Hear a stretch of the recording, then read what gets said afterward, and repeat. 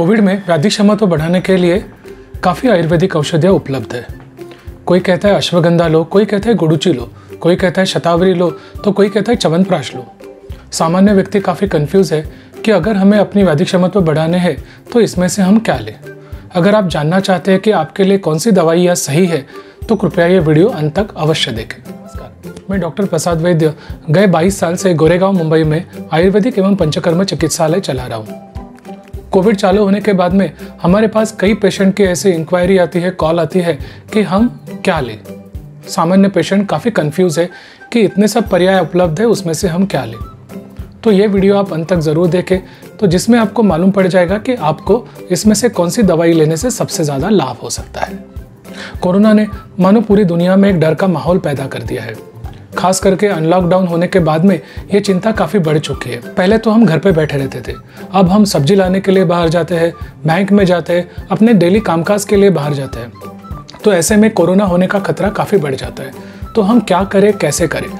Government ने तो काफ़ी अच्छी गाइडलाइंस बताई है कि आप छः फीट की दूरी रखें या फिर आप एक मास्क पहने। लेकिन इसमें सबसे ज़्यादा इंपॉर्टेंट है वो आपका वैदिक क्षमत्व आपकी रोग से लड़ने की शक्ति। और ये शक्ति बढ़ाने के लिए आयुर्वेद में कई अच्छी औषधियाँ बताई गई है। तो अब हम देखते हैं कि इसमें से कौन सी औषधियाँ आपके लिए काफ़ी अच्छी या लाभदायक साबित हो सकती है। कोरोना से बचने के लिए जो व्यक्तियों का ग्रुप है, उसे हम तीन में डिवाइड करते हैं। सबसे पहला होता है high risk group high risk group में भी हम तीन सब डिवीज़न करते हैं। सबसे पहला है एज के हिसाब से, जिसमें वृद्ध व्यक्ति या फिर प्रेग्नेंट लेडी लैक्टेटिंग मदर या बच्चे, इनका समावेश होता है। दूसरा है रोग के हिसाब से। यानी जैसे ब्लड प्रेशर है डायबिटीज़ है कैंसर है, या जो कोई स्टीरोइड जैसी इम्यूनिटी सप्रेसेंट दवा ले रहा है। और तीसरा है कि जो कामकाज के वजह से मैक्सिमम बाहर जा रहा है। जिसे बाहर की दुनिया से संपर्क करना ही पड़ता है और काफ़ी ज़्यादा संपर्क हो रहा है। तो ऐसे व्यक्ति, इन तीनों का समावेश हम हाई रिस्क ग्रुप में करते हैं। दूसरा है low risk group low risk group में ऐसे व्यक्ति जो घर पर बैठे हैं। वर्क फ्रॉम होम की नया कंसेप्ट कोरोना से चालू हो गया। तो जिसे घर पे बैठ के काम करना पड़ता है या जिसका बाहर के दुनिया से संपर्क काफ़ी कम होता है, इन्हें हम लो रिस्क ग्रुप में लेते हैं। और तीसरा ग्रुप है जो सबका ग्रुप है, जिसमें हाई रिस्क या लो रिस्क सभी लोग आते हैं, वो है कॉमन ग्रुप सबसे पहले हम देखते हैं कॉमन ग्रुप जिसमें हाई रिस्क और लो रिस्क दोनों का समावेश होता है। इस ग्रुप के लिए हम पाँच औषधियों का या पाँच प्रक्रियाओं का सुझाव करते हैं। सबसे पहले आता है च्यवनप्राश च्यवनप्राश एक ऐसी अद्भुत औषधि है जिसे हम सबने सेवन करना चाहिए। च्यवनप्राश 2000 साल पहले आचार्य चरक ने चरक संहिता में लिखा था। तब से अब तक च्यवनप्राश का उपयोग हम सभी कर रहे हैं। च्यवनप्राश का टेस्ट बच्चों को, बूढ़ों को, सभी को बहुत अच्छा लगता है। च्यवनप्राश में सबसे प्रमुख द्रव्य है आंवला। आप सब तो जानते ही है कि आंवला में विटामिन सी प्रचुर मात्रा में होता है। तो च्यवनप्राश ये एक विटामिन सी का काफ़ी अच्छा सोर्स है। अब ये च्यवनप्राश कैसे लेना चाहिए? च्यवनप्राश एक उत्तम रसायन औषधि है तो उसका उपयोग खाली पेट ही करना चाहिए। खाली पेट पे सुबह दो छोटे चम्मच या 10 ग्राम की मात्रा में बड़ों के लिए, एक छोटा चम्मच या 5 ग्राम की मात्रा में छोटे बच्चों के लिए इसका इस्तेमाल करें। इसके ऊपर अगर हम गाय का दूध पिए तो इसके लाभ कई गुना बढ़ जाते हैं। च्यवनप्राश में आप सब जानते हैं कि आंवला एक प्रमुख द्रव्य है तो इसका टेस्ट थोड़ा सा खट्टा या कसेला इस स्वरूप में होता है। अगर आपका च्यवनप्राश काफ़ी मीठा है तो जान लीजिए कि उसमें मात्रा से अधिक शक्कर मिलाई गई है, जो काफ़ी लाभदायक नहीं होती। मार्केट में कई ब्रांड के च्यवनप्राश अवेलेबल है।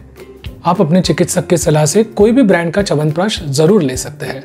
अगर आपका चिकित्सक अपने बनाया हुआ च्यवनप्राश आपको देना चाहता है तो उसे अवश्य ले, क्योंकि यह च्यवनप्राश उसके निगरानी में बनाया जाता है तो उसकी क्वालिटी काफ़ी अच्छी होती है।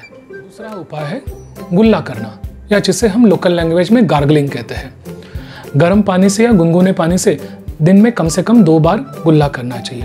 अगर इस गर्म पानी में आप त्रिफला या फिर जेठीमत चूर्ण ऐसे मिलाते हैं तो उसका और अच्छा लाभ मिल जाता है।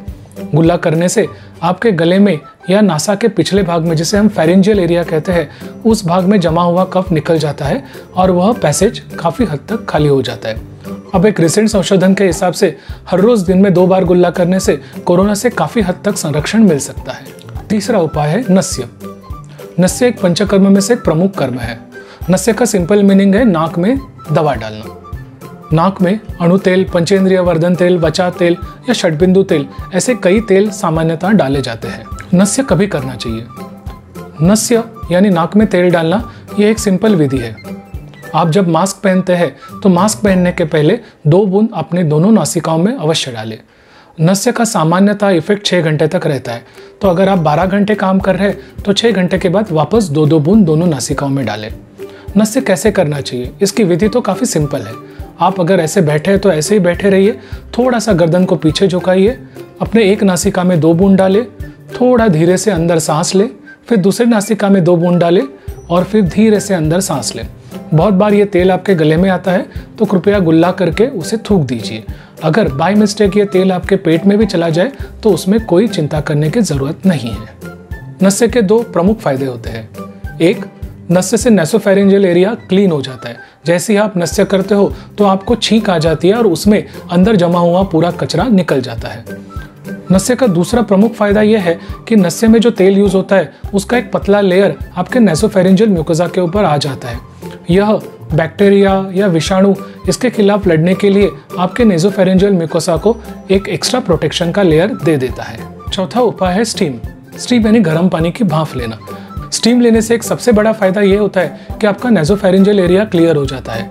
स्टीम लेने के वजह से साइनसिस में जमी हुई कफ जो रहती है, गाढ़ी कफ जो रहती है स्पेशली वो पतली हो जाती है और वो नाक से या मुख से निकल जाती है, जिससे आपका एयरवे क्लियर हो जाता है और आपको सांस लेने में कोई कठिनाई नहीं होती। पांचवा, सबसे इंपॉर्टेंट गवर्नमेंट ने जो गाइडलाइन बताई गई है, इसमें दो प्रमुख है, एक मास्क का उपयोग अवश्य करें बाहर जाते समय और दूसरा दोनों में कम से कम छः फीट का अंतर ज़रूर रखें, जिसे हम सोशल डिस्टेंसिंग कहते हैं।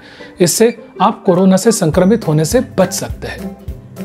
तो दोस्तों, ये पाँच उपाय है जो हमें सबको, हम में से हर एक को उपयोग में लाने चाहिए, जिससे अपनी इम्यूनिटी बढ़ेगी और हम कोरोना से संक्रमित होने का चांस काफ़ी हद तक कम हो जाएगा। दूसरी ग्रुप की ओर बढ़ते हैं, जो है high risk zone high risk zone में जो पाँच हमने उपाय बताए हैं, उसके साथ में और दो उपाय हम बताते हैं, जिससे उपाय से आपको कोरोना से संक्रमित होने का चांस काफ़ी हद तक कम हो जाएगा। तो पहला उपाय है हल्दी। हल्दी का उपयोग हम काफ़ी सालों से, सदियों से कर रहे हैं। हल्दी दाल में या फिर खाने में हर रोज़ यूज़ इस्तेमाल की जाती है। कटने पर या छिलने पर सबसे पहले जो लगाई जाती है वो हल्दी। तो हल्दी का एंटीसेप्टिक एंटीबैक्टीरियल गुण हम सबको ज्ञात है। हल्दी एक उत्तम रसायन है। ना ही वो इम्यूनिटी बढ़ाती है, बल्कि वो रिसेंट संशोधन के हिसाब से कोरोना के एंट्री के लिए भी काफ़ी हद तक प्रतिबंध करती है। तो इसीलिए हमें हल्दी का उपयोग अवश्य करना चाहिए। हल्दी में एक प्रमुख कार्यकारी तत्व होता है, जिसे हम कहते हैं कुर्कुमिनॉइड या कुर्कुमिन हम जो हल्दी हमारे घर में यूज़ करते हैं, उसमें कुर्कुमिनॉइड या कुर्कुमिन काफ़ी कम मात्रा में रहता है। तो इसका उपयोग हमें इतना फ़ायदा नहीं पहुंचाता। मार्केट में कुर्कुमिनॉइड 95 परसेंट इस कॉन्सेंट्रेशन में हल्दी के कई ब्रांड अवेलेबल है। इसमें से कोई भी ब्रांड आप चूज़ कर सकते हैं अपने चिकित्सक के सलाह से। लेकिन एक बात का अवश्य ध्यान रखें, हल्दी ये काफ़ी गर्म औषधि है।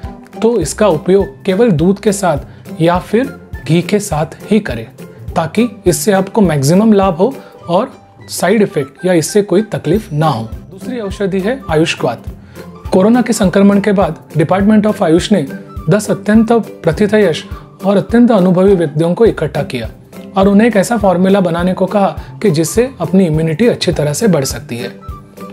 इन 10 वैद्यों ने मिलकर जो फॉर्मूला बताया, वो है आयुष्वाद आयुष्वाद में चार प्रमुख इंग्रेडिएंट है, तुलसी, दालचीनी, सौंठ और काली मरी। ध्यान रहे कि ये चारों इंग्रेडिएंट काफ़ी गर्म है तो उसका उपयोग करते समय काफ़ी ध्यान रखना ज़रूरी है। आयुष्वाद के कई प्रकार मार्केट में अवेलेबल है।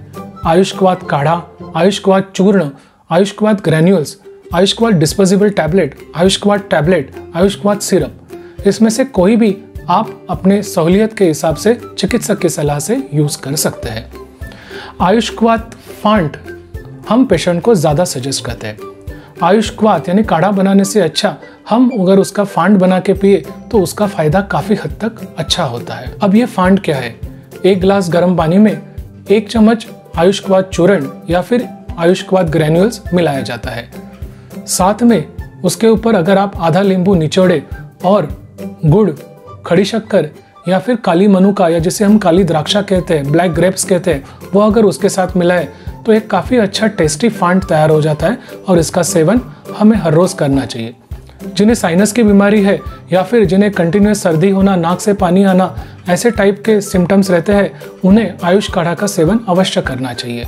ध्यान रहे, जैसे मैंने पहले बताया, आयुष काढ़ा के इंग्रेडिएंट काफ़ी गर्म है। तो पित्त प्रकृति वाले लोगों ने, या फिर जिन्हें पित्त की बीमारी है, उन्होंने इसका सेवन करते समय खास ख्याल रखे। या अपने चिकित्सक के सलाह अनुसार ही इसका उपयोग करें। अब हम तीसरी ग्रुप की ओर बढ़ते हैं, जिसमें पब्लिक कांटेक्ट काफ़ी कम होता है, जिसे हम वर्क फ्रॉम होम वाला ग्रुप कहते हैं। वर्क फ्रॉम होम एक नया कंसेप्ट कोरोना के काल में पैदा हुआ है, जिसमें अगर हम ऑफ़िस में आठ या दस घंटा काम करते थे तो इसमें सोलह घंटा, अठारह घंटा तक काम करना पड़ता है, जिससे कि काफ़ी हद तक स्ट्रेस बढ़ चुका है। इस ग्रुप के लिए दो औषधियाँ काफ़ी अच्छे साबित होती है। सबसे पहली है अश्वगंधा। अश्वगंधा ना कि आपकी इम्यूनिटी बढ़ाती है, शारीरिक शक्ति बढ़ाती है बट मेंटल स्ट्रेस के लिए भी एक काफ़ी अच्छी औषधि है। अश्वगंधा भी चूरण, घनवटी या अश्वगंधा अरिष्ट इन सभी रूपों में उपलब्ध है। आप जो अच्छा चाहे और आपका चिकित्सक जो सलाह दे, इसके हिसाब से इसका ज़रूर उपयोग करें। यह आपका मेंटल स्ट्रेस भी कम करेगी और आप में एक अच्छी इम्यूनिटी पैदा करेगी। दूसरी औषधि है गिलोय या फिर गुड़ुची। गुड़ुची का दूसरा नाम है अमृता। ऐसे कहते हैं कि समुद्र मंथन के समय अमृत बिंदु ज़मीन पर गिर गए और उस जगह में जो वनस्पति पैदा हो गई, उसका नाम है अमृता यानी गुड़ुची। गुड़ुची भी मार्केट में कई स्वरूप में उपलब्ध है। गुड़ुची, स्वरस गुड़ुची चूर्ण, गुड़ुची घनवटी, संशमनी वटी, गुड़ुची सत्व या फिर अमृतारिष्ट. इसका भी उपयोग आप अपने चिकित्सक की सलाह से ज़रूर कर सकते हैं। और गुड़ुची एक अत्यंत उपयुक्त रसायन है। इन सब औषधियों के साथ में और कई चीज़ें भी काफ़ी इंपॉर्टेंट है। यह ध्यान रहे कि इन सब के साथ में ही आपकी प्रतिकार शक्ति को अच्छी बनाने के लिए सबसे उपयोगी है उत्तम आहार, विहार स्ट्रेस फ्री लाइफ मेडिटेशन ध्यान, धारणा या फिर योग और व्यायाम। ऐसी चीज़ों का अगर आप इस्तेमाल करते हैं तो अवश्य ही आपकी प्रतिकार क्षमता काफ़ी हद तक बढ़ सकती है। ध्यान रहे कि हमें यह अवसर मिला है कि हम अपने बीते हुए लाइफ में क्या गलतियाँ कर चुके हैं, उसका अवलोकन कर सकते हैं और डेफिनेटली ये गलतियाँ सुधारने का प्रयत्न कर सकते हैं, जिससे हमारा अगला जीवन काफ़ी सुखी, समृद्ध और स्वस्थ हो सकता है। अंतिम बात है जो काफ़ी इंपॉर्टेंट है। इस पूरे वीडियो में हमने जो दवाइयाँ बताई है, वो इन जनरल सेफ़ है, लेकिन इसका उपयोग केवल आपके चिकित्सक के सलाह अनुसार ही करें। कई बार नस्य करने पर अणु तेल या फिर पंचेंद्रिय वर्धन तेल डालने पर गले में खराश होती है। कई बार हल्दी या आयुष्कवात इस्तेमाल करने पर किसी किसी को एसिडिटी की तकलीफ़ होती है। तो आपके शरीर के बारे में आपसे अच्छा जानने वाला एक ही व्यक्ति है, वो है आपका चिकित्सक। तो कृपया इन सब चीज़ों का इस्तेमाल आपके चिकित्सक के सलाह बिना ना करें। दोस्तों, आपको ये वीडियो कैसा लगा, हमें ज़रूर बताइए। ये वीडियो के बारे में या फिर आयुर्वेद के बारे में अगर आपके कोई सवाल हो तो हमें ज़रूर पूछिए। धन्यवाद।